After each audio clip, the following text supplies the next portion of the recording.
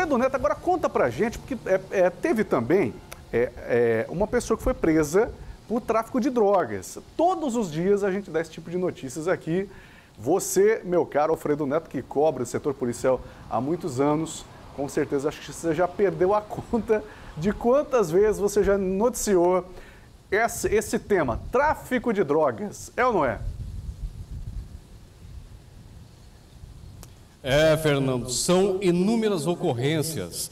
Infelizmente, tem aqueles que acreditam que, ah, eu só fumo a maconha, eu sou usuário, não vai dar cadeia.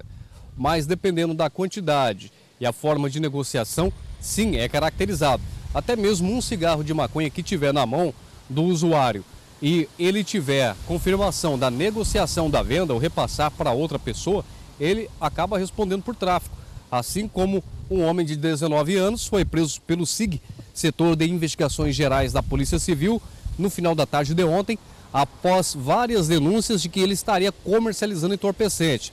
Os investigadores montaram campana, avistaram várias movimentações e no final da tarde de ontem resolveram dar o bote na residência. Na casa, o homem de 19 anos estava acompanhado da esposa e de uma mulher que ele disse ser babá do filho dele. Na casa, os policiais encontraram cinco cigarros de maconha pesando 43,9 gramas da droga. Questionado sobre o entorpecente, o mesmo relatou que era usuário de entorpecentes e a droga era para consumo pessoal. Mas na delegacia, durante conversa com o delegado Dr. Ricardo Cavanha e a análise às movimentações e mensagens dele, os policiais viram algumas pessoas encomendando o entorpecente e questionou a ele se ele era usuário ou traficante. O mesmo tentou dar uma desconversada e falar para o delegado que ele era usuário, mas de vez em quando, como ele comprava uma quantidade um pouco excessiva e não usava tudo, ele vendia, revendia para alguns colegas o entorpecente, mas que não era um traficante atípico, não era um ativo, era só às vezes quando alguém o pedia e ele quebrava um galho para poder ajudar algum colega usuário.